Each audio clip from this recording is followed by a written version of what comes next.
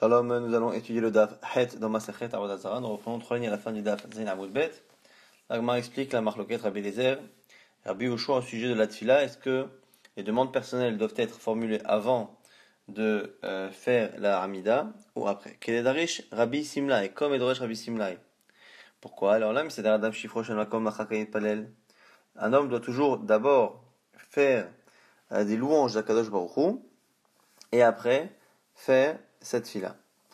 Donc après demander. Mais là, on le sait, Moshe Rabbeinu, de Moshe Rabbeinu. Dirtiv Hashem Lokim atahilot ala ot et avdecha egodecha ve'yedcha hasaka.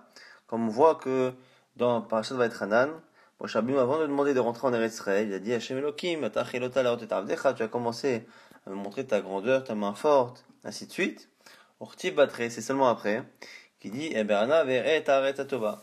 Laisse-moi passer, traverser donc le Jourdain, et que je vois cette belle terre. Donc c'est après qu'il a demandé de rentrer en Eretz Israël.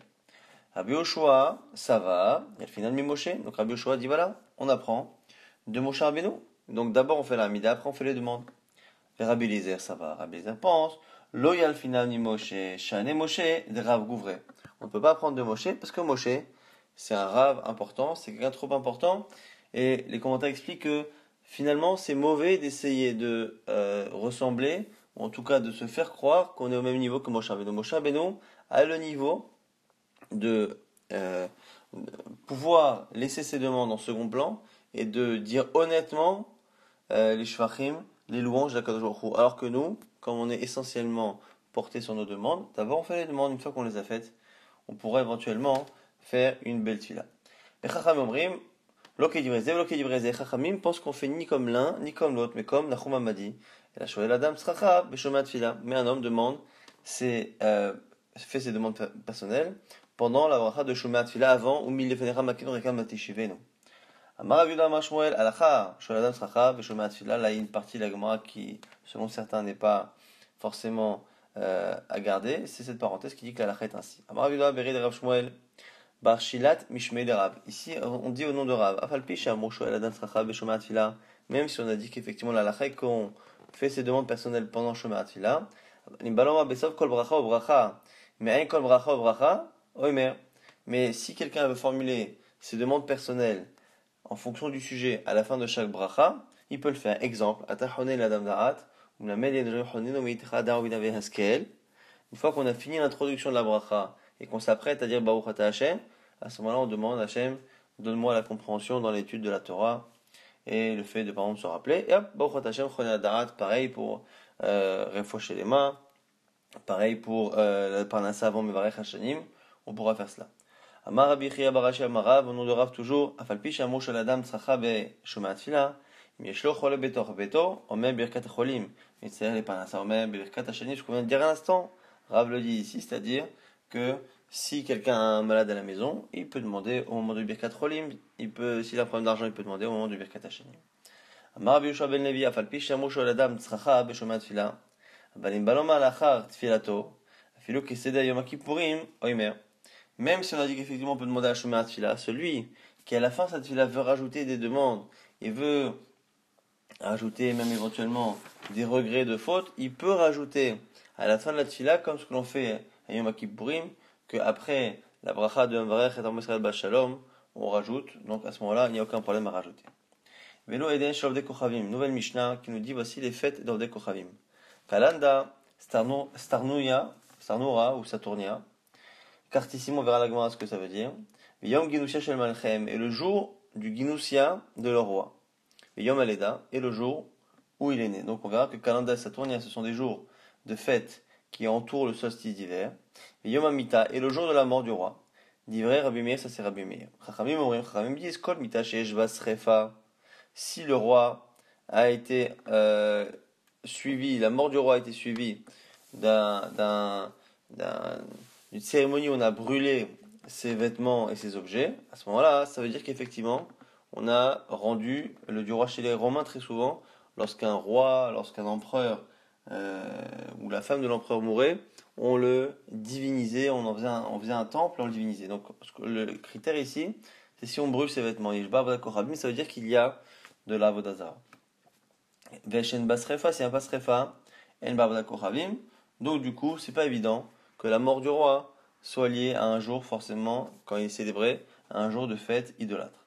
Aval, Yom Tiglachadskano, ou Blorit, Yom Sha'alabo, Minaya maintenant va nous parler de fêtes que des goïms peuvent faire, mais des fêtes euh, privées, personnelles, liées à l'événement de chacun. Donc pas des, fêtes qui ne sont pas nationales, qui ne sont pas publiques.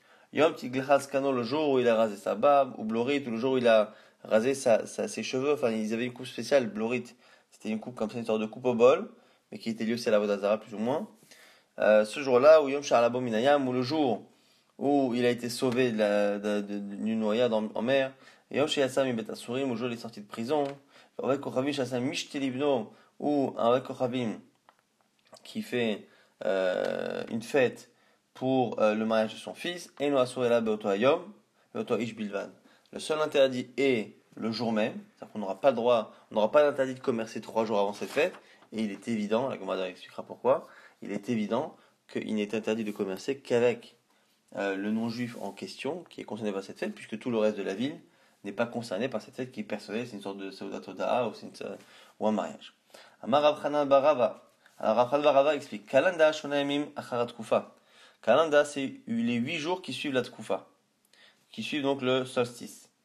Starnora, Shonaimim Lifne.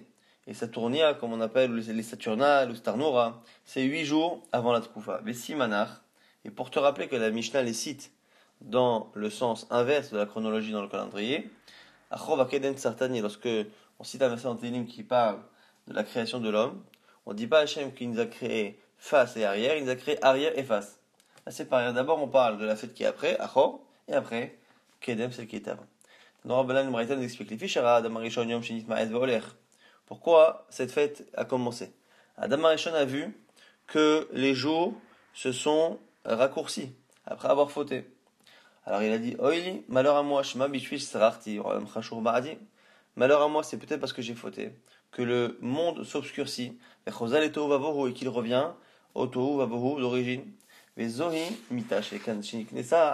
ça la mort, qu'Hachem m'avait dit que depuis que euh, j'ai fauté, je suis mortel, je vais mourir. Alors, Amad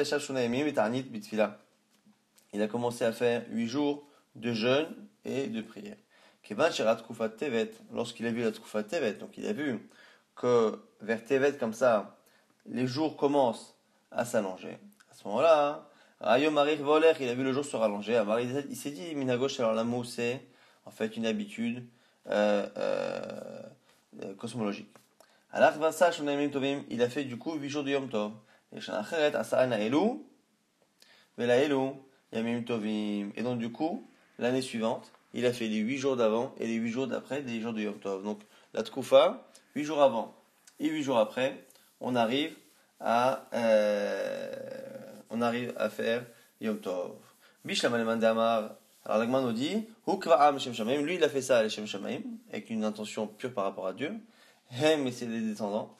Kevaum, le Shem ils l'ont fait pour les idoles. Bishlam al-Mandama, Betishri, l'Agman dit ça va pour selon celui qui dit que le monde a été créé en Tishri. Il a vu effectivement des jours courts à partir de Tishri de septembre. Il n'a jamais vu des jours plus longs.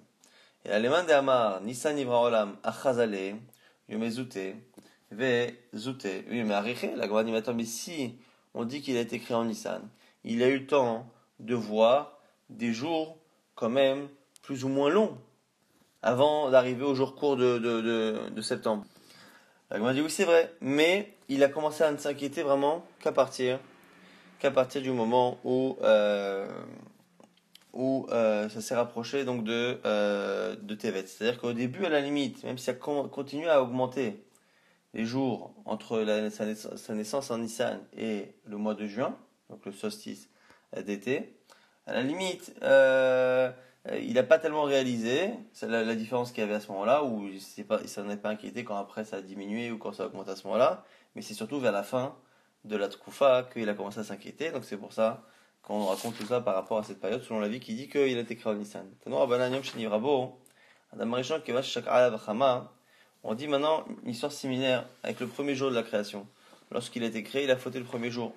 Le premier jour, lorsque le soleil s'est couché, Amar, il a dit, Oili, malheur à moi, Bishish Beyarsor. Alors là, la même chose, c'est à cause de moi, à cause de ma faute que le monde s'obscurcit et revient au Tohu C'est ça la mort qui m'a été euh, imposée du ciel. Il est en train de jeûner et de pleurer toute la nuit. Et Chava pleurait en face de lui. Lorsque le soleil s'est levé, Amar il s'est dit Minagosh alors l'amour c'est l'habitude du monde. Amar décrive Shor et Kanav Kodmin et. Et il a apporté en sacrifice pour remercier Dieu un char, un taureau, dont les cornes sont antérieures à ses sabots. Chez comme c'est marqué, Vatitav Lachem, Mishor par Makrin. Mafris, c'est marqué là-bas, que c'est dans Télim toujours. Vatitav Lachem, ça a plu à Hachem. Mishor par Makrin, Mafris. À partir, entre guillemets, du short du taureau, qui est Makrin, Mafris, qui a des cornes et qui a des sabots. Alors que normalement, on devrait le citer dans l'ordre chronologique. C'est-à-dire que d'abord, un veau a des sabots qui se forment. Une fois que le sabot se forme et qu'il grandit, il peut avoir éventuellement des cornes. Donc c'est pour nous dire qu'il en a pris un qui a eu à l'envers. Et quel est le seul taureau de l'histoire qui a pu avoir ça à l'envers? C'est le taureau de la création qui est né directement adulte.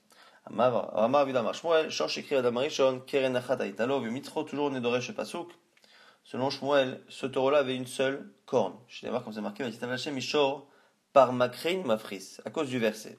On dit maintenant Makrin. Makrin, c'est au pluriel. On a l'impression qu'il y a plusieurs Keren. Tarté, moi je pense qu'il y en a deux. Alors, Amar Nachman, Barisra, qu'on explique. Makran, c'est vrai qu'on dit Makrin, mais normalement il devrait y avoir un Yud. Entre le Resh et le Nun, or il n'y a pas. Donc ça se lit euh, Makrin, mais ça s'écrit Makran. Et donc c'est pour dire qu'en réalité il n'avait qu'une seule corne. Pose une question. Romisha kalenda. On nous dit maintenant, Rome fait cette fête de Kalenda.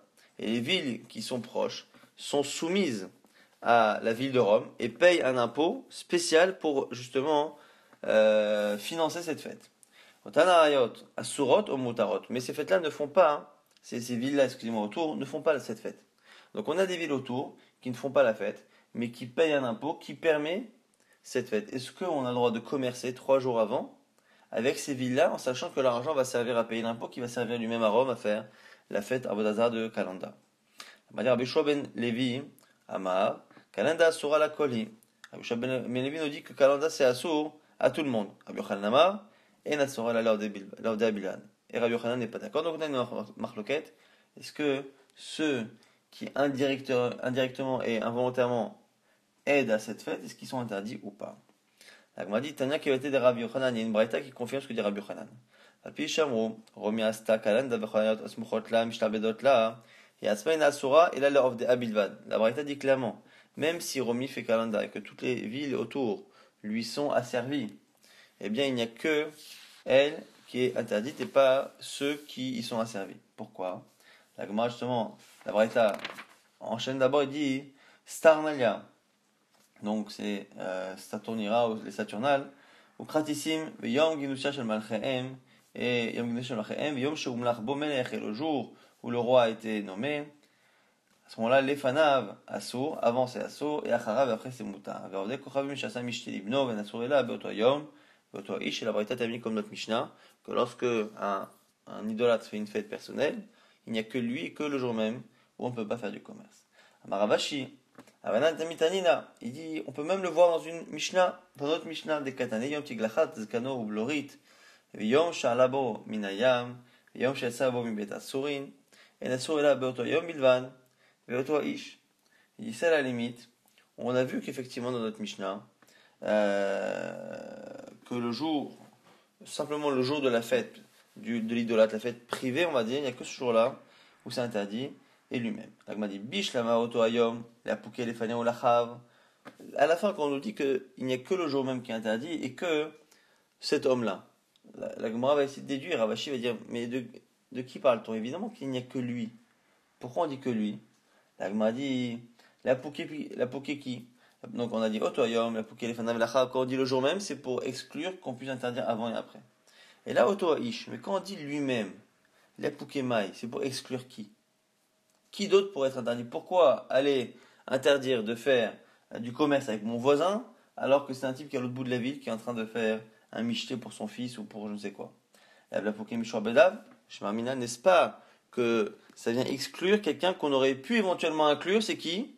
C'est ceux qui travaillent pour lui. On aurait pu penser que ceux qui travaillent pour cet idolâtre qui va faire une fête, on ne peut pas travailler avec eux le jour même. Car que non, auto que simplement lui. Et donc du coup, de la manière que ses serviteurs, ceux qui lui sont asservis, qui travaillent pour lui, ne sont pas inclus, on va donner le même statut aux villes qu'il y a autour de Rome qui sont asservies à Rome, mais qui elles-mêmes ne fêtent pas la fête de Kalanda. Donc c'est la raison pour laquelle on a dans une Braïta et dans notre Mishnah, même un Diouk, la Braïta le dit clairement, notre Mishnah, on le déduit selon Ravashi, qui montre comme Rabbi Yochanan qu'effectivement il n'y a que la personne elle-même qui est interdite au commerce et pas ceux qui travaillent pour elle. On a maintenant une Braïta. Tanya, Rabbi Shimon ben Lazar Omer, Israël bechutzalaret de kochavim betahara. On dit que les juifs qui sont en chutzlaret, ils ne se rendent pas compte parfois qu'en vivant avec les non-juifs, en conversant avec eux, en acceptant parfois de euh, faire des choses qui sont des minagim finalement en kochavim, ils sont des kochavim betahara. C'est une, image de dire que c'est comme s'ils étaient idolâtres, mais avec un cœur pur. Ils ne se rendent pas compte que dans leur coutume, dans leur manière de faire, euh, en s'associant à leur simcha, ils font quelque chose qui est finalement Ovet Kochavim Betara. Ketsa, d'exemple? Ovet Kochavim Shasamish Telibno, un idolâtre qui fait une fête pour son fils. Vezimen Kolayedim Héros. Et il invite tous les juifs de la ville. Même si les juifs arrivent avec leur petite barquette de bouffe cachère, Veshama Shelahen, en Medalehem, et même avec leurs serviteurs pour les servir, on leur compte comme s'ils avaient mangé ce qu'on appelle zifre betim mais ici Zifremetim, c'est des korbanot pour la Vodazara, chez Neymar, comme c'est marqué, et Karalecha vachatam bizifro. La Torah nous dit attention, ne fais pas de pacte avec les idolâtres d'Eretz Israël, de peur qu'ils t'appellent et que euh, tu manges de ces sacrifices pour la Vodazara. On m'a mais quand on regarde ce verset-là, on a l'impression que la, crainte, c'est qu'ils nous appellent et qu'on le mange. Mais il m'a dit, mais qui nous dit que là-bas, le problème n'est pas que lorsque l'on mange de leur korbanot, mais que si je suis assis à cette fête d'Avodazara que je mange mes barquettes cachères, c'est bon. Imakra, vachatam, bizifro. Sinon, le pasouk aurait dû simplement dire que on a peur que tu manges. Mais il n'y a pas marqué ça. C'est d'abord marqué on a peur qu'il t'appelle et qu'après tu manges. Selon lui, à partir du moment où il t'a appelé à participer à une de ces fêtes, c'est déjà interdit. Il dit car c'est pourquoi, kot latinyomin, ben Amale, Ben, Lo Amarle, Asso. C'est pour ça que lorsqu'un goy fait un, mariage, 30 jours avant, 30 jours après, même s'il ne dit rien par rapport à la fête qu'il est en train de faire, dès qu'il fait une fête 30 jours avant le mariage de son fils ou 30 jours après, on n'a pas le droit d'y participer parce qu'elle est présumée euh, liée justement à ce mariage et donc amenée à un truc idolâtre.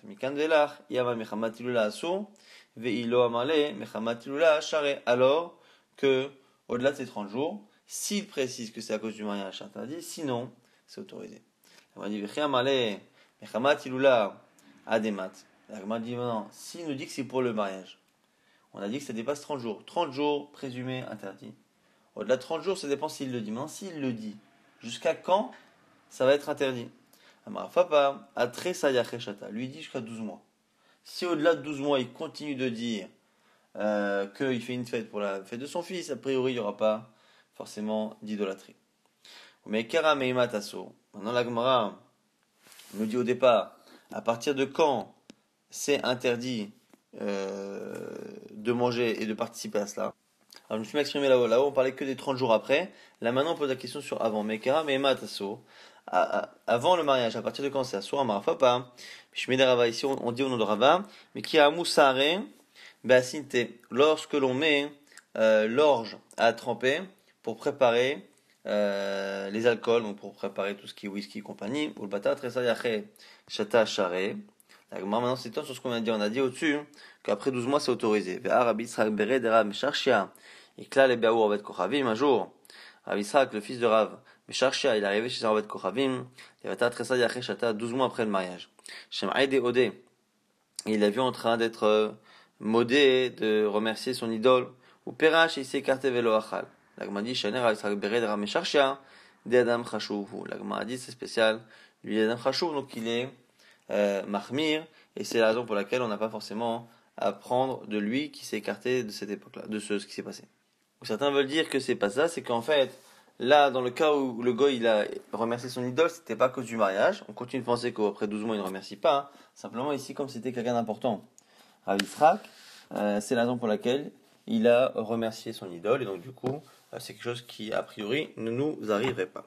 Maintenant, l'autre fête, kratissime, c'est quoi? Maï, kratissime, la gamme essaie de comprendre. Romi, le jour où Rome a pris le pouvoir. La dit Tanya, kratissime, Viyom, Sabo, Romi, Malchut. Pourtant, il y a des braïtot. Là, on va en citer plein des braïtot. Mais une braïta où on dit les deux choses de manière séparée. La fête de kratissime, la fête où Rome a pris le pouvoir. Amarav Yosef, Yom, Tarsaromi. Il y a deux moments où ils ont pris le pouvoir.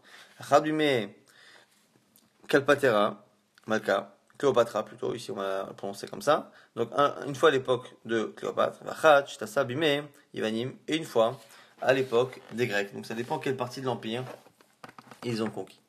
Et Kiatar Ravdimi, lorsque Ravdimi est venu, Amar il a dit, Latino tren, Krave, Abdou Romae Bade, Yivane.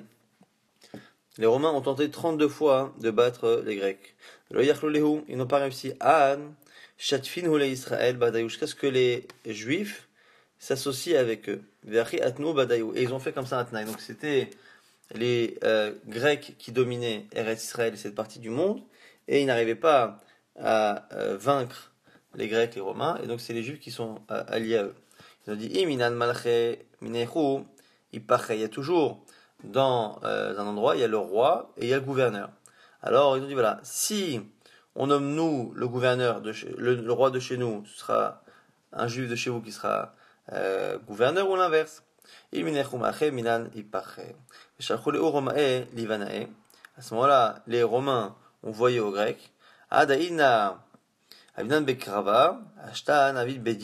Jusqu'à présent, on euh, s'approchait gentiment et on faisait on, tentait euh, de vaincre gentiment. Maintenant, on va y aller euh, difficilement. Margalit Even, tout va. Donc ici, on dit Ashta Navid Bedina. Maintenant, on va arriver, arriver un peu plus en force.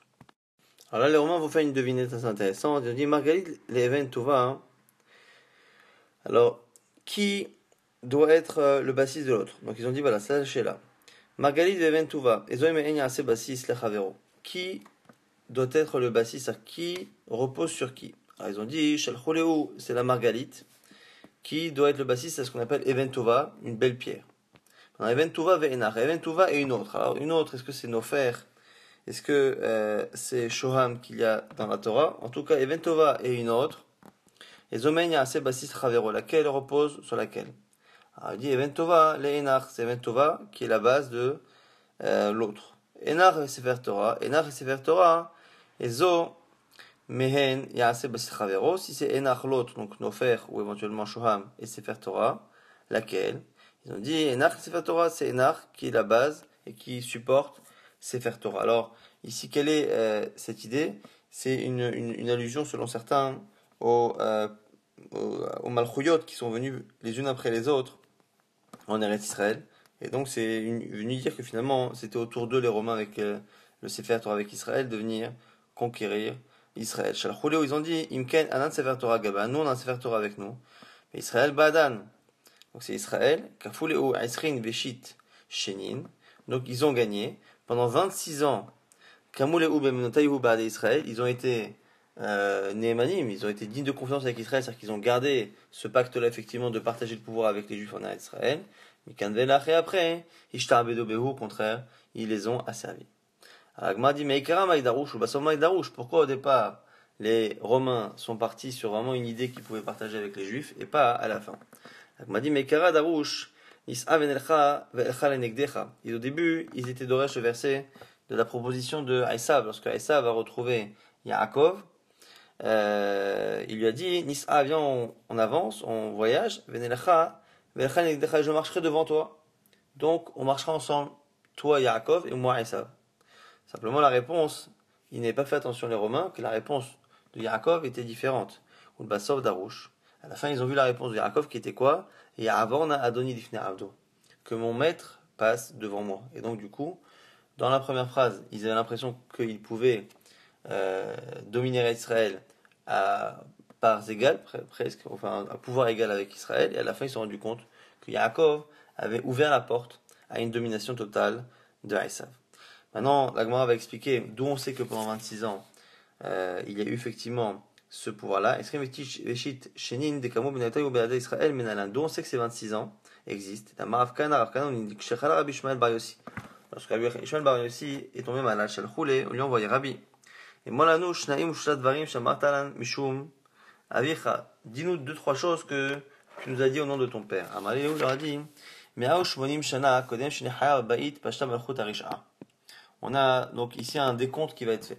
Donc, 180 ans avant la destruction du temple. Il y a les Romains qui sont venus et qui ont dominé à l'Israël. Shmonim Shana Locharav Bait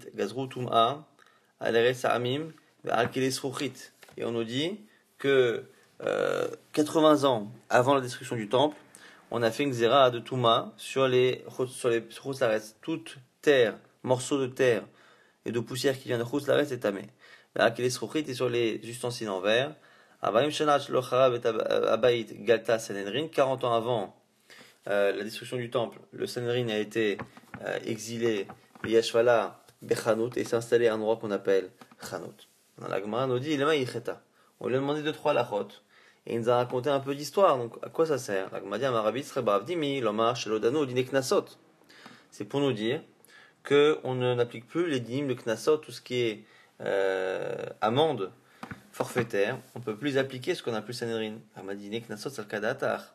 Qu'est-ce que tu racontes? Et pourtant, Rav Yehuda dit au nom de Rav Amarav, mais Rav Zachro Ish Letov, Rav Ben Baba Shmo, que cet homme-là soit mentionné pour le bien, ça va Ben Baba,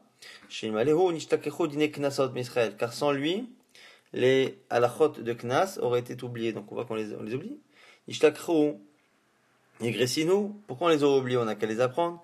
Et là, Batlou dîner Knasot. Mais Israël, n'est-ce pas que il n'y a plus de dîner Knasot en Israël? Et là, la Gemara fait une, une diversion par rapport à cette histoire. On nous explique la difficulté qu'il y a eu à continuer à avoir les Knasot. Pourquoi? Chez Gazram al A que les Romains ont fait Xera, Zakola Somer avec tout celui qui fait la smicha euh, sera mis à mort. Alors la smicha, c'est cette ordination qui était faite de Rav en élève depuis Moshe Rabbeinu. Il fallait absolument trouver quelqu'un qui lui-même avait reçu de quelqu'un, qui lui-même a reçu quelqu'un, et dont la chaîne remontait à Moshe Rabbeinu. Et les Romains ont voulu faire cesser cela. donc ils ont dit, toute ville dans laquelle on fait la smicha sera détruite. Ou Troum chez là, et le Troum, donc la partie qui est à côté, sera aussi détruite, les, les alentours de la ville. Ya'aker, Ma'asa Rabbi ben Baba, Kafer Rabbi ben Baba, c'est en cela qu'il a sauvé. Ben ben ben.